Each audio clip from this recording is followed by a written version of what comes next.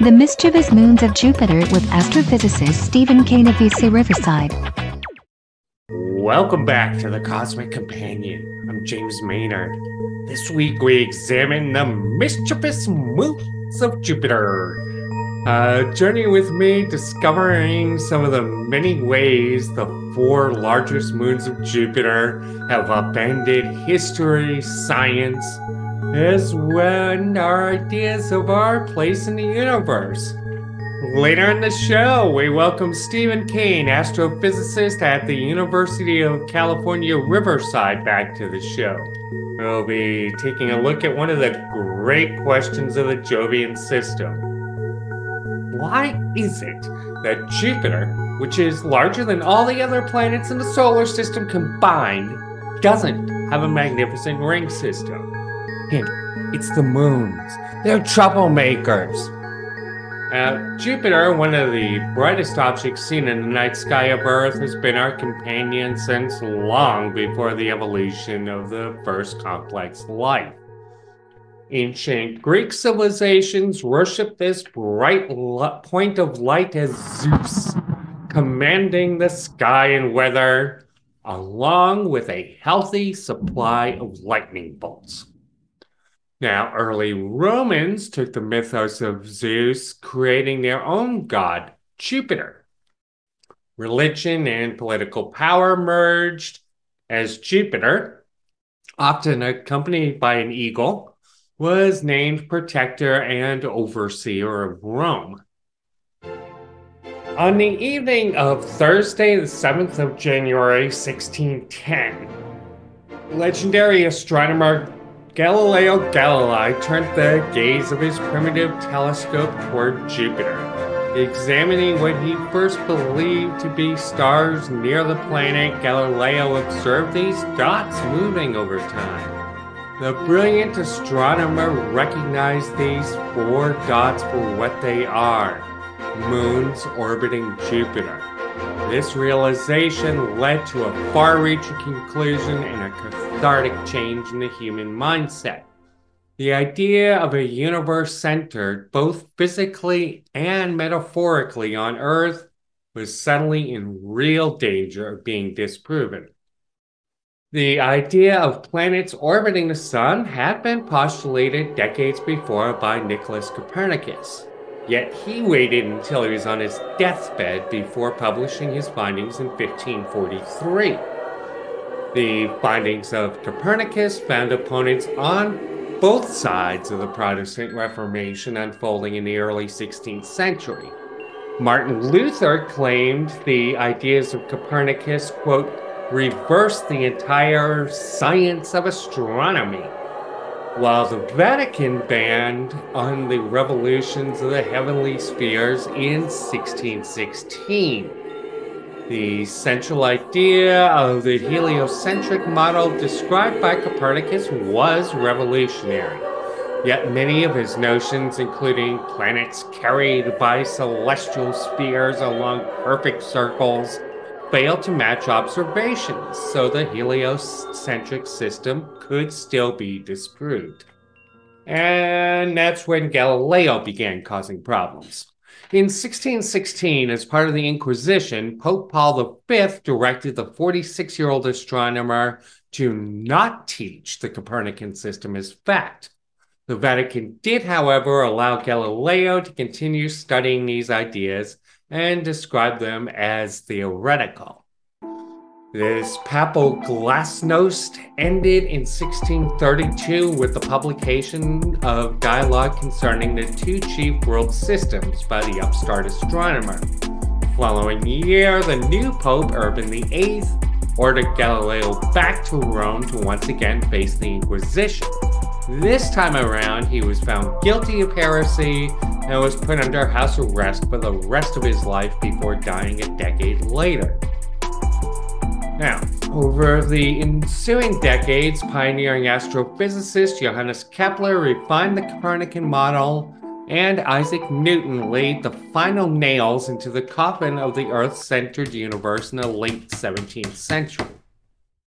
In this way, the four largest moons of Jupiter created a sea change in our understanding of the universe. But these moons have been causing trouble since long before the days of Galileo.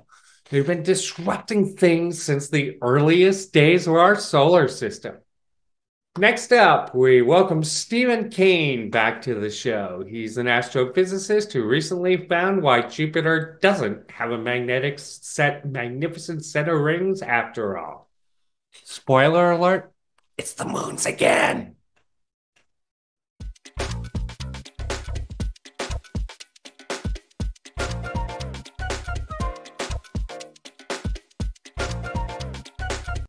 This week on The Cosmic Companion, we're delighted to have astrophysicist Stephen Kane back on the show. He is from the University of California, Riverside, and he's recently done some fascinating work showing why Jupiter does not have a magnificent ring system. Like it should, really. Welcome back to the show, Stephen. Thanks, James. It's great to be back. Great, great. Um, so naturally, you know, when we think of rings, the first thing that comes to mind is Saturn. But Jupiter has roughly three times the mass of Saturn, so you'd think it would have spectacular rings. Why doesn't it?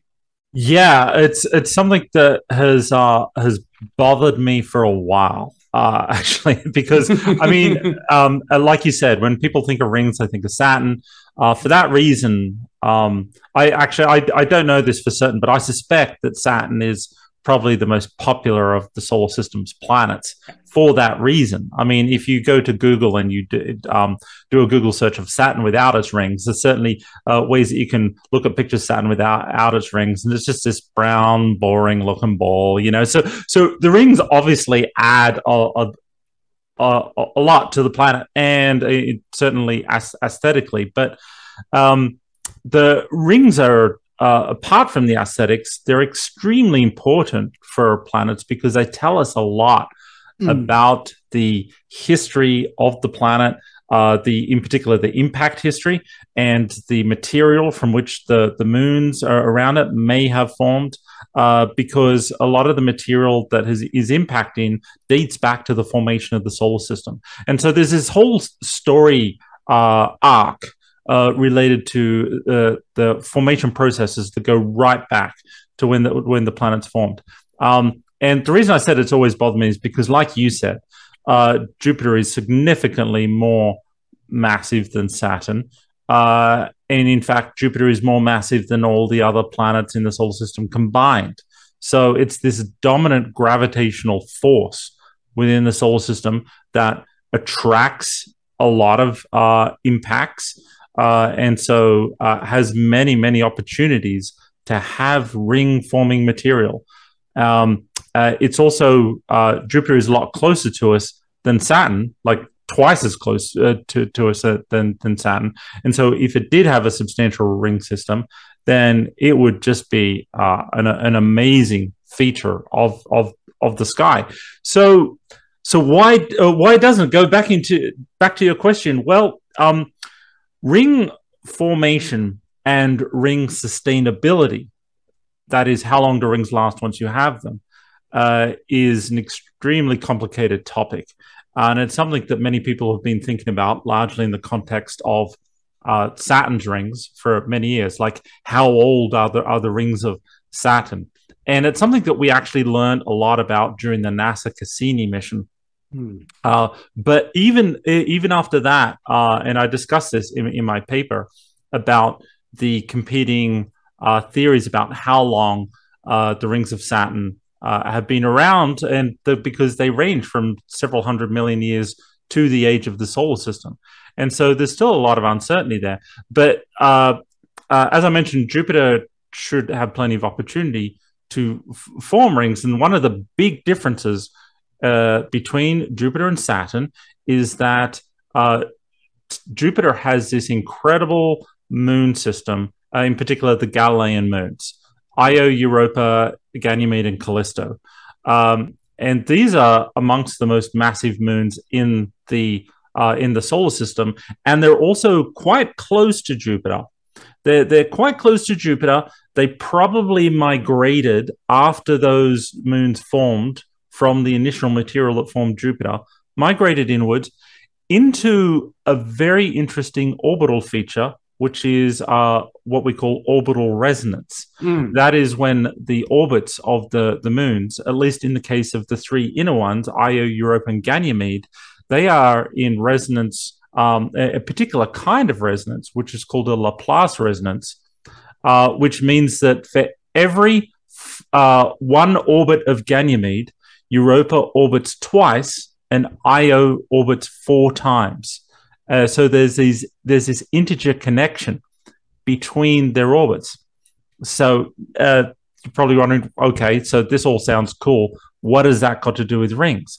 Well, the this results in the moons them being relatively massive, them being in these resonances. It means that they're able to effectively, quite efficiently, scatter any material that is within their vicinity. In other words, ring material. Uh, so if uh, if there is say an impact on Jupiter, there will be debris that will form around the equatorial plane, and the uh, and the Galilean moons, their gravity and the resonance of their orbits will very very quickly kick that out. Um, uh, and when we look at Saturn, like I said, it's, it's the obvious comparison is Jupiter and Saturn. Mm-hmm. Jupiter's more massive, has the Galilean moons. Saturn less massive, but has rings. Does it have a massive moon? Of course it does. It has Titan, um, uh, as well uh, as Enceladus.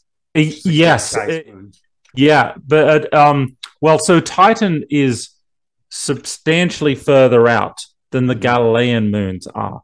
Uh, uh, and so Titan does have an effect on Saturn's rings, but it's a much, much smaller effect than the Galilean moons. Enceladus, as you mentioned, is interesting because uh, Enceladus is is extremely small, and in fact, the the size of Enceladus is almost at the limit of what we call hydrostatic e- equilibrium. In uh, what that means is that if it were any smaller, it probably wouldn't be round it, it would be like some potato shaped because it wouldn't have the gravity to smooth the surface. But Enceladus, of course, as we know, is extremely interesting because it has a lot of water content. And in fact, the ejecta from Enceladus is helping to feed the rings of Saturn.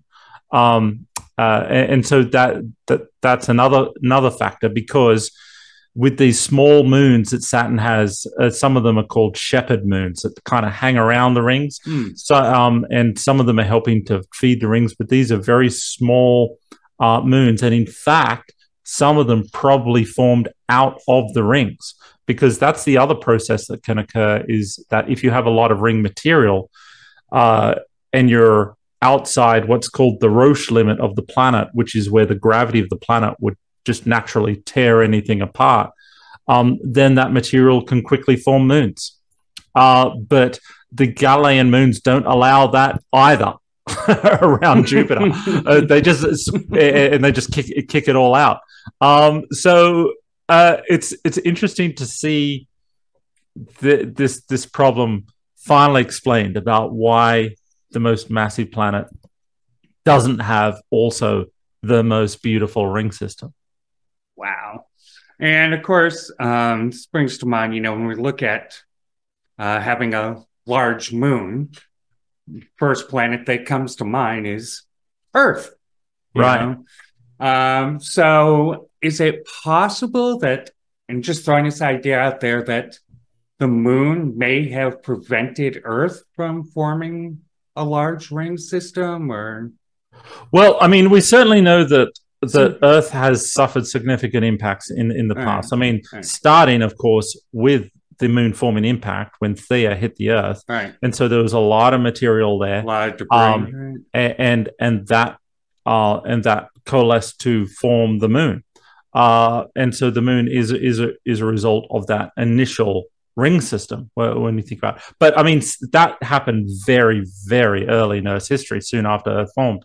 Uh, since then, there have been many, many impacts. Of course, we know all about the one at the end of the Cretaceous um, that was largely responsible for for the dinosaurs going extinct. But that and and that material, uh, there have been some interesting simulations that have been done showing how that material not only would have formed a, a temporary ring around the Earth, but it would have um, scattered a lot of the material uh, elsewhere in in the solar system.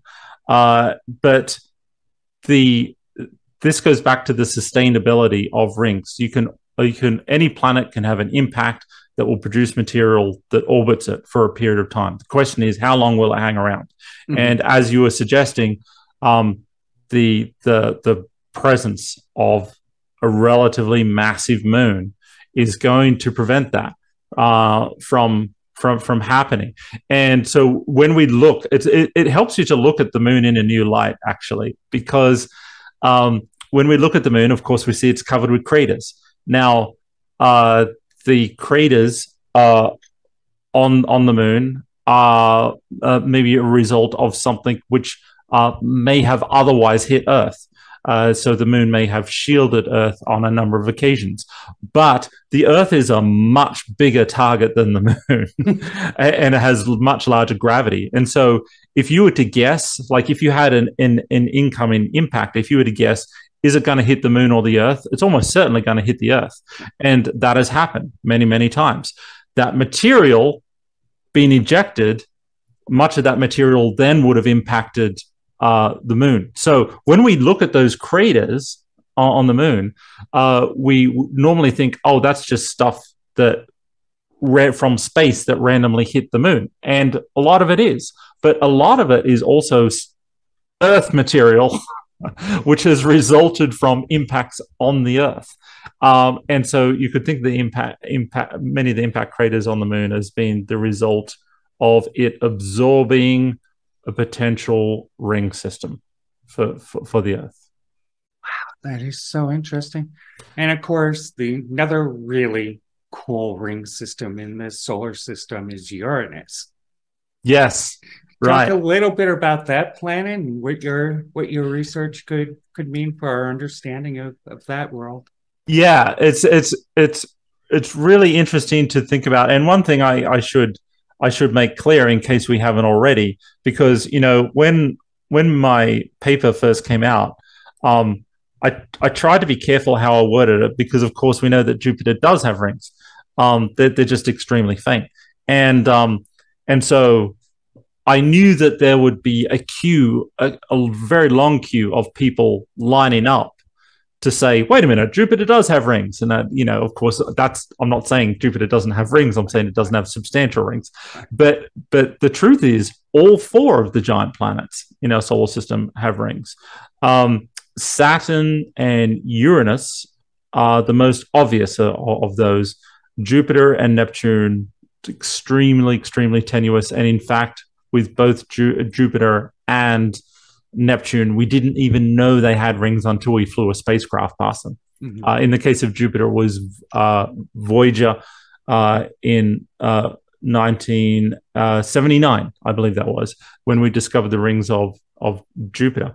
Um, the rings of Uranus, on the other hand, have been known for a long time. In fact, it's it's it's interesting when you look back at the original records of uh, of William Herschel uh, because uh, it was only a few years after he discovered Uranus that he lodged with the Royal Society a report in which he thought he saw rings around Uranus. So something there was some kind of oblong feature to his observations that he, he couldn't explain.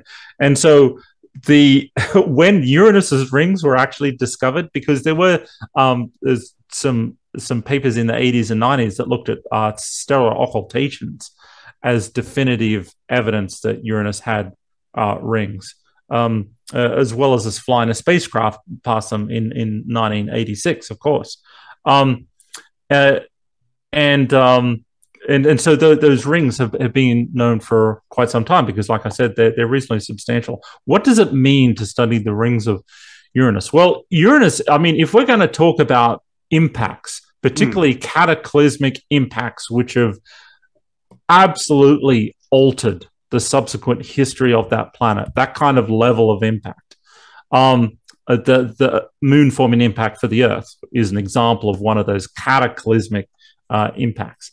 Uh, then Uranus is way up, if not at the top of the list of having suffered a cataclysmic impact in terms of solar system uh, uh, history. Uh, and and the reason for this is because it's tipped on its side, and the leading theory for that is still that it was it was hit by a large object. Now the now the moon forming uh, object Theia.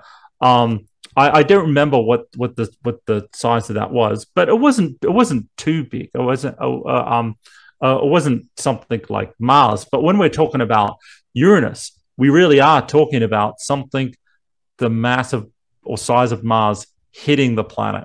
That is quite a thing. Um, but but the interesting thing about both the rings and the moons of Uranus is the pl- the planet is tipped on its side, but the ring system and the moons are also tipped on their side. They are aligned with the equatorial plane of Uranus. Uh, so that means that those those rings uh, and and the moons are probably a result of what happened. The mm-hmm. the um and, and may may be uh, the remaining pieces of uh, pieces from the impact or the original impact material. Now, the fact that Uranus still has its rings means that they're not being significantly perturbed by the moons uh, of, of Uranus. Uranus has a fascinating uh, system of moons that are, are, very geologically rich in terms of their in terms of their history. Particularly um, Miranda, if you've ever seen pictures of Miranda, looks like a patchwork quilt. There's been something very strange that's happened to Miranda in in the past, which may be part of this whole story. So um, so it's it'd be very interesting to look at the perturbations of the uh, of the rings of, of Uranus, because if indeed they're not being perturbed by the moons, then that lends credence to the idea that they're original, that those rings do indeed date back to that that original impact.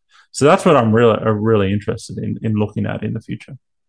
Fantastic. And finally, can you is is this going to then be your next the next step in your research, uh, looking at Uranus and how these how moons could affect it, and how will you be using different data to figure that out?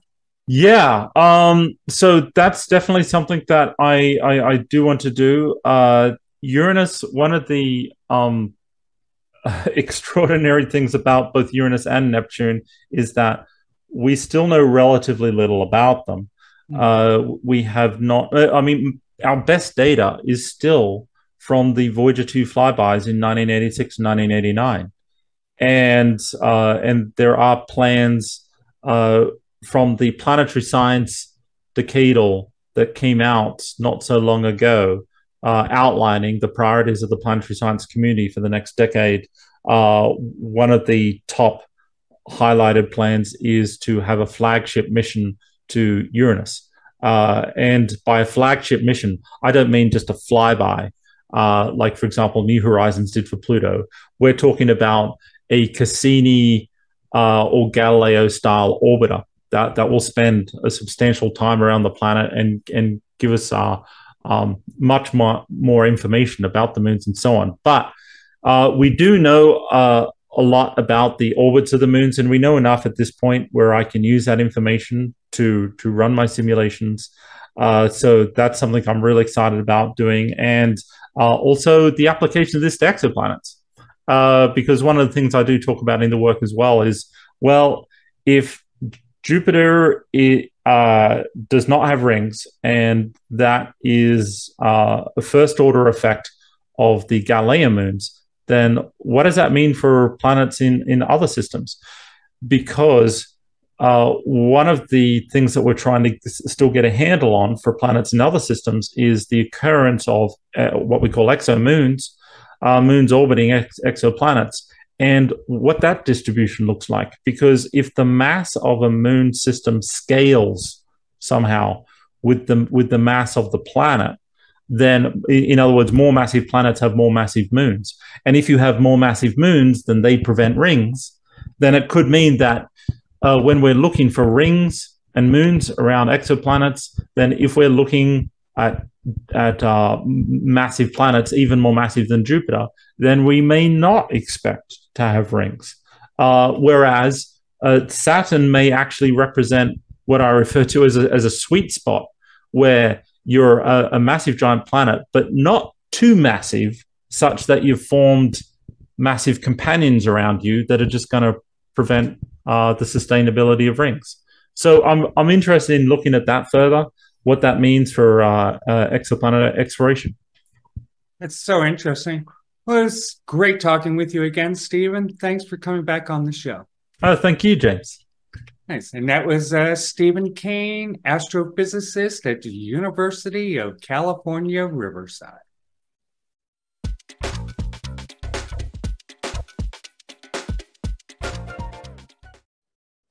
Since the discovery of the four Galilean satellites of Jupiter, these mischievous moons have played havoc with the ideas of scientists. Until well into the disco era, the only volcanoes known were found here on the face of Earth. In 1979, the Voyager spacecraft racing through the Jovian system observed titanic eruptions rising from the surface of Io, the innermost of the four large moons of Jupiter. Io, the namesake of a mortal woman turned into a cow during a marital dispute between Zeus and Juno, found a way to get her revenge. A magnetic field driven by the motion of Io through the magnetic field of Jupiter results in lightning striking the Grecian king of the gods. So, take that, Zeus. Notions that Earth is alone as a water world were quickly drowned out ah, by the ocean worlds of the solar system, including Ganymede. On this moon, larger than the planet Mercury, we may find oceans 10 times deeper than those seen on the face of our own world. This is also the only moon we know of which possesses its own magnetic field. Callisto, roughly the size of Mercury, was once thought to be a boring dead moon. Spoiler alert, it's not. Galileo upset the apple cart once again in the 1990s, this time in the form of the Galileo spacecraft exploring Jupiter and its moons. The orbiting observatory revealed Callisto may be home to a vast ocean, making it one of the most likely places in the solar system where we might find conditions suitable for life if one is looking to find life in our family of planets, there may be no better place to start than Europa. The first hints of water on Europa were seen by the Voyager spacecraft, and further evidence was collected by Galileo. That name again? Now, water vapor has been seen rising 160 kilometers above the surface of that watery moon. The Europa Clipper, a spacecraft scheduled for launch in October 20, 2024, is readying to explore Europa up close. Scientific instruments aboard the craft will examine whether or not this intriguing world could have conditions suitable for extraterrestrial life. The first discovery of life forms on another world is very likely to come from Europa in the next few years. And that would be the greatest disruption yet from these mischievous moons of Jupiter.